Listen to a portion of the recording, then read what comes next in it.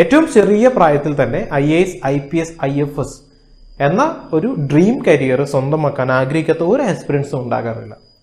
ഇരുപത്തൊന്ന് വയസ്സ് കഴിഞ്ഞ് ആദ്യ ശ്രമത്തിൽ തന്നെ ഉദ്ദേശിക്കുന്ന ഒരു ഹൈ റാങ്ക് കിട്ടി ഉദ്ദേശിക്കുന്ന ഒരു സർവീസിൽ കയറി പറ്റുക എന്നുള്ള എല്ലാ ആസ്പിറൻസിന്റെ ഒരു മോഹമാണ്. എന്നാൽ നമ്മൾ ഡാറ്റ നോക്കിക്കഴിഞ്ഞാൽ പത്ത് ശതമാനത്തിൽ താഴെ മാത്രമാണ് ആദ്യത്തെ അറ്റംപ്റ്റിൽ പാസ്സാകുന്ന ആൾക്കാരുള്ളത്.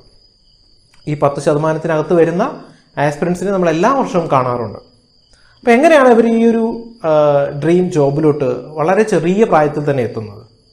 അവരുടെ കോളേജ് സമയത്തും അവരുടെ സ്കൂളിലെങ്കിലും വ്യക്തമായിട്ട് ഒരു പ്രിപ്പറേഷൻ അവർ തുടങ്ങിയിട്ടുണ്ടായിരിക്കും.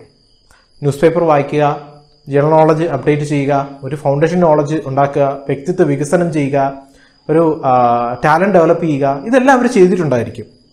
അതിനൊക്കെ അവരുടെ പാരൻസ് ചിലപ്പോൾ അവരെ ഹെൽപ്പ് ചെയ്തിട്ടുണ്ടായിരിക്കും. അപ്പോൾ ഇത്തരത്തിൽ ചെയ്യുന്നവർക്ക് ഫസ്റ്റ് ചാൻസിൽ ക്രാക്ക് ചെയ്യുന്ന പോസിബിലിറ്റി വളരെ കൂടുതലാണ്. ഞാൻ പറഞ്ഞ പത്ത് ശതമാനത്തിനകത്ത് ഇവർ ഈസി ആയിട്ട് ചെന്നപ്പെടും. അപ്പോൾ എല്ലാവർക്കും അത് പോസിബിൾ ആകണമെന്നില്ല. പക്ഷേ അതൊരിക്കലും ഇമ്പോസിബിളുമല്ല ഒരുപാട് രക്ഷകർത്താക്കൾ ആവശ്യപ്പെട്ടത് പ്രകാരം ഇന്ത്യ മജിസ്റ്റർ ഒരു ഫൗണ്ടേഷൻ പ്രോഗ്രാം തുടങ്ങുകയാണ് ഹൈസ്കൂൾ കുട്ടികൾക്കും പ്ലസ് വൺ പ്ലസ് ടു ചെയ്യുന്ന കുട്ടികൾക്കും. നോർമലി ഡിഗ്രി ഫസ്റ്റ് ഇയർ ഒക്കെ പഠിക്കുന്ന കുറച്ച് പേരെങ്കിലും നമ്മളെ കോൺടാക്ട് ചെയ്ത് പറയുന്ന ഒരു വിഷയം. ഞാൻ plus one plus two science വിഷയമായിരുന്നു. എനിക്ക് സിവിൽ സർവീസ് പരീക്ഷ എഴുതണം. പക്ഷെ ഞാൻ ഇനി എന്താണ് ചൂസ് ചെയ്യേണ്ടത്? ഡിഗ്രിക്ക് ഞാനൊരു ഹ്യൂമാനിറ്റി സബ്ജക്ട് ചൂസ് ചെയ്യേണ്ട ആവശ്യമുണ്ടോ? സിവിൽ സർവീസിലോട്ട് വരാൻ വേണ്ടിയിട്ട് അതിന്റെ ആവശ്യകതയുണ്ടോ? അങ്ങനെ ഗൈഡൻസ് ചോദിക്കുന്നവരുണ്ട്. അപ്പോൾ മനസ്സിലാക്കുക ഇഷ്ടവിഷയം സയൻസോ മാത്സോ മറ്റ് സബ്ജക്റ്റോ ആണെങ്കിൽ നിങ്ങൾക്ക് അത് ധൈര്യമായിട്ട് പഠിക്കാം. ഹ്യൂമാനിറ്റി സബ്ജക്റ്റ് ചൂസ് ചെയ്ത് പഠിക്കണം എന്ന് യാതൊരു നിർബന്ധവുമില്ല. പക്ഷേ നമ്മുടെ ഹിസ്റ്ററിയും നമ്മുടെ ജോഗ്രഫിയും നമ്മുടെ എക്കണോമിക്സും സോഷ്യോളജിയും ഒക്കെ നമ്മൾ അറിയേണ്ടതായിട്ടുണ്ട്. അത് അറിയുവാൻ വേണ്ടിയിട്ട് അടിസ്ഥാനപരമായിട്ടുള്ള ഒരു വായന പിന്നെ നിങ്ങൾ ചെയ്യേണ്ട കുറേ കാര്യങ്ങളുണ്ട്.